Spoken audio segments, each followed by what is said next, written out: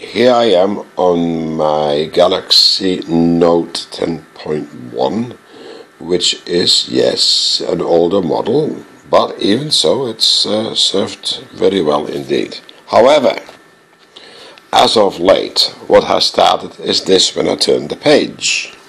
Page 6 of 6. Yeah, Page 1 of 6.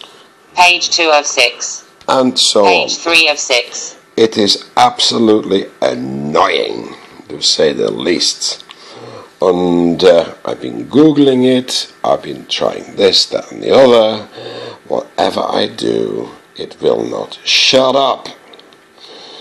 Yeah, um, Jackie's tablet, which is exactly the same as this one, has done the same. Oh, we succeeded in shutting it up once or twice for a day, and then she was back. I want to strangle her. Well, anyway, the voice, not the person. Don't get me wrong. Anyway, so there you go. This is what we find really annoying.